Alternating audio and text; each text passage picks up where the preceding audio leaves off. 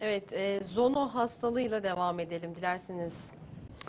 Evet, zona hastalığının sebebi nedir? Zonaya sebep olan virüs Varicella e, zoster isimli virüs su çiçeğine sebep olur.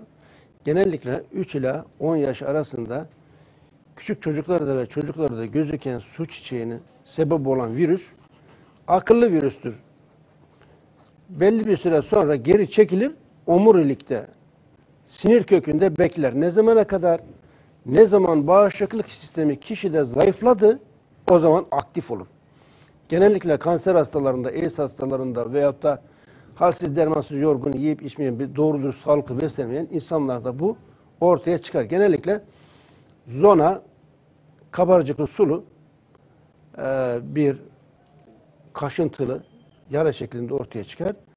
Genellikle sağ veya sol böğürde ortaya çıkar. Bu nedenle de gece yanığı denir veya kuşak hastalığı denir. Geceleri daha çok kaşıntı yaptığı için gece hastalığı, gece yanığı denir.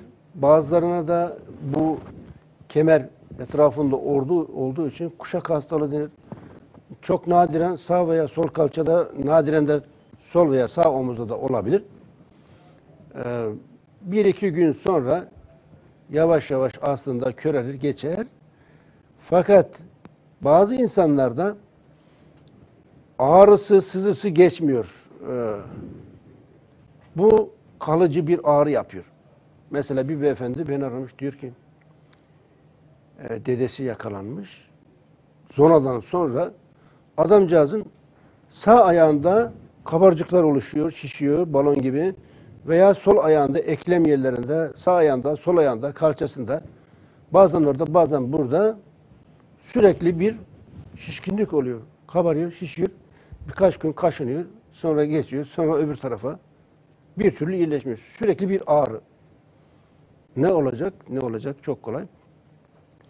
Bağışıklık sistemini güçlendireceksiniz. Neyle, nasıl? Şimdi Çin tırtır mantarı var. Çin tırtır mantarı e, Cordyceps forte diye biz bir formül geliştirdik. Himalaya dağlarının 3500 metre yukarısında yetişir.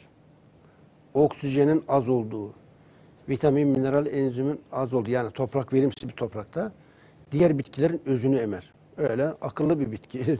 Yarı parazit. Bu kortizondan 3 kat daha etkili antiseptik yani bakteri, virüs ve mantarları öldürücü özelliğe sahip. Dişiniz ağrısa bile mesela kullandığınızda diş ağrısına bile iyi gelir. Bitkisel antibiyotik. Bunu kullandığınızda iksir, aloe vera bağışıklık sistemini güçlendirdiğinizde yavaş yavaş zonadan kurtulursunuz. Zonadan kurtulmak mümkün. Birçok kişi, bu tür rahatsız olan kişiyi biz çok kısa sürede bir buçuk, iki ay, bazen hafif rahatsızlarda bir ayda atlattılar.